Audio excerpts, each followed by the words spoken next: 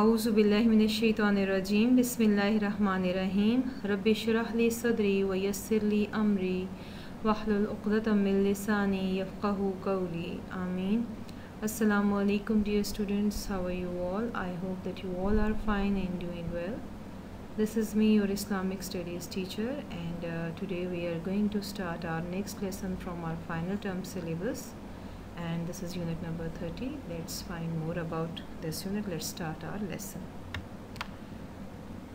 Unit number 30 and the name of this lesson is women and in islam. And the main points which we will discuss the very first thing is introduction of the unit. As uh, students you know and as the name of this uh, lesson is showing its uh, subject its topic that in this lesson we are going to learn about the status of women in Islam. We will learn that uh, what kind of dignity and importance and respect our beautiful religion Islam gives us as a woman. So this lesson is all about the status of women in Islam.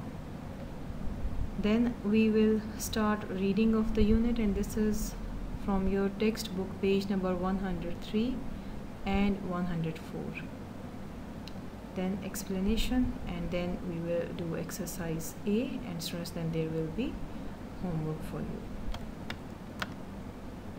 Women in Islam. So the very first point is women in medieval times means what was the condition of women in the middle age or in the early times Many societies have uh, practiced female infanticide, means the killing of the newborn. It was the practiced among many societies. And uh, as uh, it was practiced by the Romans until the 4th century, that they regarded, Romans regarded women as a slave. And then the Greeks considered women as a commodity, means that uh, could be bought and sold. And uh, then Christian societies tended to see a woman responsible for mankind's departure from paradise. She was a real devil, an enemy of peace, a cause of disputes from whom men must hold apart. This was the uh, thinking of Christian societies. And uh, then in France, Towards the end of the 6th century, a meeting was held to decide that whether women could truly be considered a human being or not. Then, what was the condition of women in Asia? In India, in the Middle Ages, means in the country of India, in the Middle Ages, it was customary, it was a custom that for a widow to be burnt alive to death on her husband's funeral pyre, and a custom that continued to some extent into the 20th century. And uh, those who escaped their terrible fate were not allowed to remarry. They lived as slave maids of the brothers of their husbands or their other male next of uh, kins. And uh, then in China, women were subject to obedience women were subject to obedience the son, to the sons when widowed. And women also had their feet bounded from childhood. And uh, this practice continued until the early years of 20th century. And uh, now we will learn about that what uh, about the condition of the women in Arabia before Islam. So the next point is women in Arabia before Islam. And uh, the lot of women was extremely deplorable in pre-Islamic Arabia. Deplorable means that they were shameful and they were disgraceful. And uh, the right of inheritance was denied to them means they didn't have any share in the family inheritance. And uh, it was customary for the eldest son to take as wives his father's widows, together with other property. This was the condition of the women in pre Islamic Arabia. And also, women were discriminated even in the matter of food. Men reserving certain dishes for themselves only means women were not allowed to eat those dishes which were reserved to men only and girl children were buried alive at birth and they had been recorded as an economic burden means they considered women as an economic burden. And several incidents of this nature were, were narrated sorrowfully uh, by the companions of the prophet muhammad peace and blessings of uh, allah be upon him. And uh, if we keep this background in mind and uh, we consider this uh, we consider the position of women in islam. And uh, so then we will realize that islam reali- islam released women from slavery honored her and protected her. And also this beautiful religion our beautiful religion islam improved her position in a number of ways so students, the next point is the Quran defines women's role and uh, the very first point for this, the Quran gave protection to women. How? It forbade the custom of killing unwanted infant girls. As we learned earlier, that it was the Bedouin custom that they killed the unwanted infant girls. Bedouin means the nomadic people of deserts.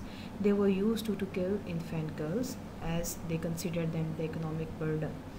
And also it gave means the Islam gave women a share in family inheritance in the 7th century uh, and European women had to wait until the 19th century before they gained legal rights over their own property. Then another um, right, uh, a divorced woman could keep her dower and she was entitled to support from her husband and also she could marry again.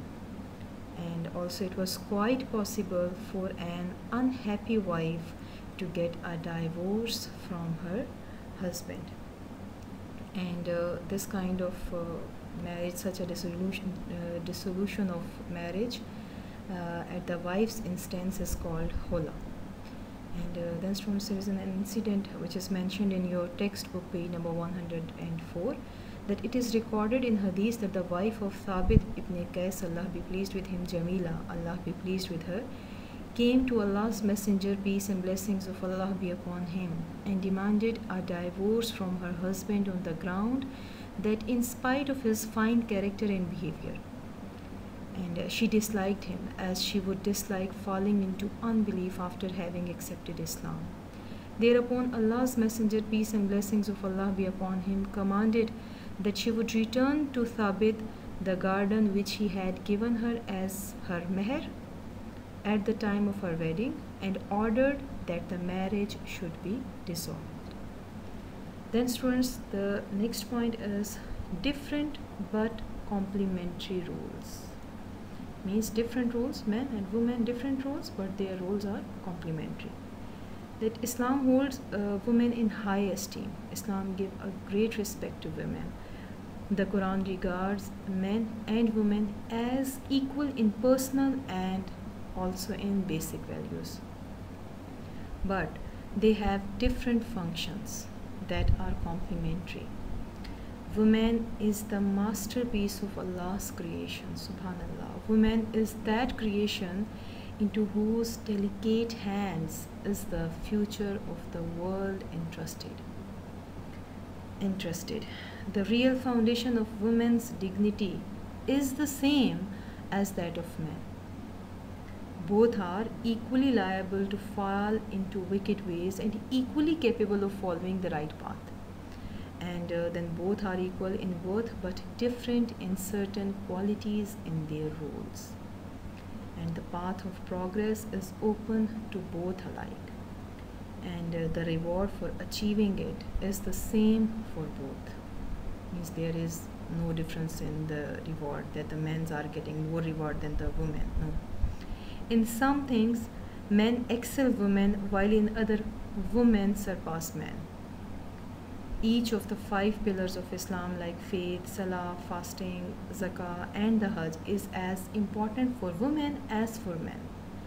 And there is no discrimination in this regard. How beautiful our religion is. Alhamdulillah, we all are Muslims. so students now we are moving to the next point of this video which is your homework okay so students here is uh, your homework. Read unit number 30 especially page number 100 and 103 and 104 and uh, then do activity A questions and answers and question number 1 to question number 6 as these questions are related to this reading which we have just done in this video. And inshallah we are going to explain this uh, lesson and we are going to discuss this lesson in our zoom classes also. So inshallah you will be able to do this activity A. Then do these questions and answers on your niche notebooks and then learn them. Then make 10 MCQs from this unit. Students when you will read this unit number 30 then you will be able to do this activity making 10 MCQs from this unit. And also when you will uh, read this uh, lesson again and again inshallah it will help your reading skill and inshallah you will understand the lesson very well. So uh, this was the first part of our unit number 30 inshallah. In the next week we will discuss rest of the points from this lesson. Thank you very much dear students. Take very good care of yourself. Allah hafiz